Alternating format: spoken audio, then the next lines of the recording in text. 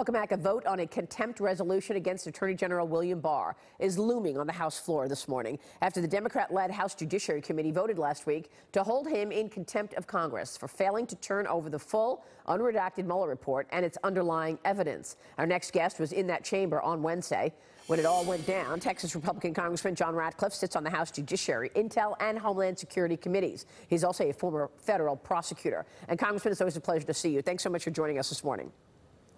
You bet, Maria. Good so, to be here. So, what happened when, when Jerry Nadler, the chairman of your committee, uh, went for a contempt of Congress vote for William Barr? Can you tell us about what that day was? Well, Maria, there have been plenty of days I've been uh, embarrassed to be a member of Congress uh, uh, based on the conduct of some of its members, but none more so than this week. And think about it the once esteemed House Judiciary Committee uh, marked up a resolution to hold the Attorney General of the United States in contempt for his refusal to commit a crime.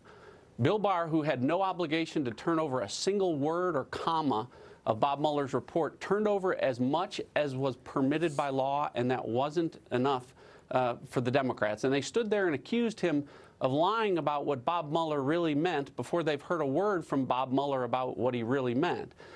It was all staged. It was all scripted. Uh, it was all part of the Democratic uh, uh, effort to create the illusion of a cover up. Remember, Maria, that these are the Democrats that promised evidence of collusion that didn't exist, that promised that Bob Mueller was going to find Donald Trump guilty of crimes that he didn't commit. And when that didn't happen, uh, they either had to admit they were wrong to the American people or they had to find a villain. And unfortunately, they've made Bill Barr that villain. And, uh, and they'll do anything they can to try and damage his reputation before uh, he delivers the message that he intends uh, to deliver because he's promised to get to the bottom of the very suspect origins of uh, this Russia Trump uh, collusion conspiracy investigation. So, is that what this is about? They don't want him to do an investigation that he said he would be doing? I mean, there in and of itself is obstruction.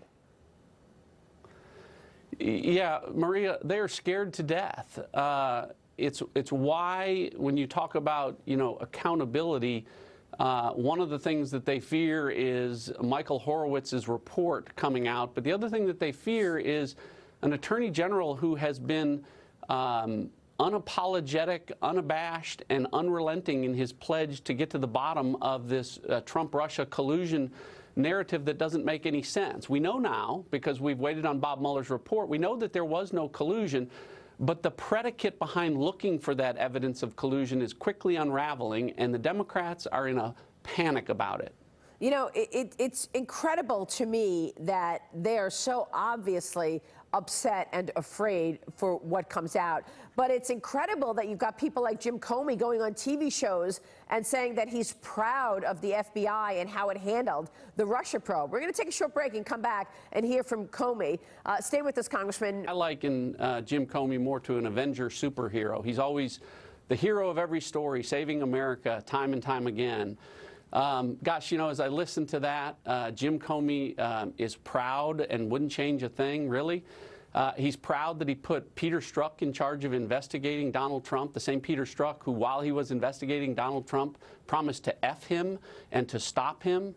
He's proud of his hand-picked deputy director, Andy McCabe, who lied under oath, uh, lied to the inspector general, and has been criminally referred for that. And of course, we know Jim's proud of himself, but the inspector general found him insubordinate, and many of us uh, believe that he either is or should be under investigation for violating the Espionage Act, for recording his conversations with President Trump in the Oval Office and then intentionally leaking uh, classified information to start this uh, uh investigation. So you know, Maria, as you know, as a former federal prosecutor, I've worked with hundreds of FBI agents, and over the last two years, they haven't used the word proud once to describe Jim Comey. They use words like embarrassed and ashamed. And uh, every time he uh, sends out a tweet or pens an op ed or conducts another town hall, he just tarnishes um, the brand of the premier law enforcement um, agency in the world that he unfortunately once headed. So, are we going to be able to trust the FBI again? Will there be accountability?